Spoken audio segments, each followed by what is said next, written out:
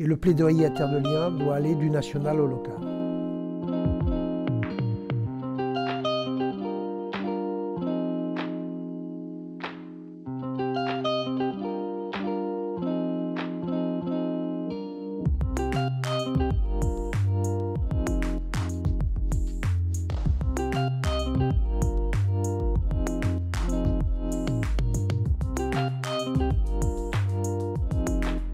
Mon rôle en tant que bénévole terre de lien à la CDPNAF, c'est de veiller à la moindre consommation de terres agricoles, tendre vers un objectif de zéro artificialisation des terres. La CDPNAF examine les documents d'urbanisme et veille à la juste, nécessaire consommation euh, des terres euh, pour les besoins de la population.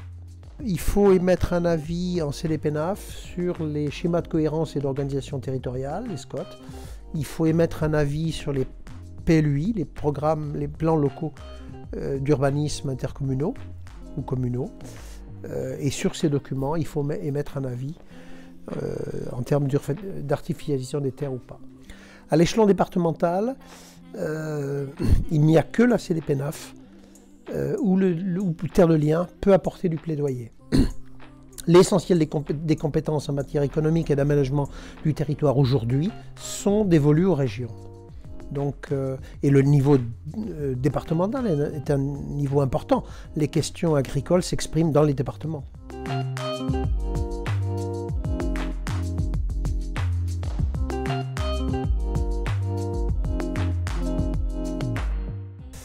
Dans l'absolu, il faut, il faut mettre terre de lien là-dessus.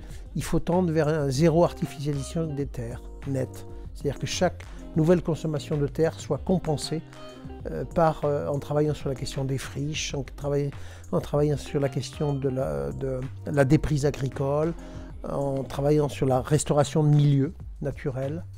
Euh, il y a dix ans, il y a à peine dix ans, les élus locaux ne se saisissaient pas des questions agricoles elle leur était étrangère, c'était compliqué pour eux, c'était, ils avaient du mal à prendre ces questions, ils ne les prenaient pas. Aujourd'hui, on voit arriver les programmes agricoles et alimentaires territoriaux, on voit arriver des choses comme ça.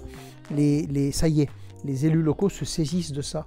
Et c'est le bon moment pour Terre de Liens pour aller vers les élus locaux et travailler sur les questions alimentaires, sur les questions foncières, sur les questions d'urbanisation, sur les questions agricoles bénévole qui arrive à Terre de Liens, euh, tout citoyen qui s'engage dans Terre de Liens, euh, a euh, par ce mouvement la possibilité de se former, de disposer de ressources nécessaires pour porter le plaidoyer dans son territoire.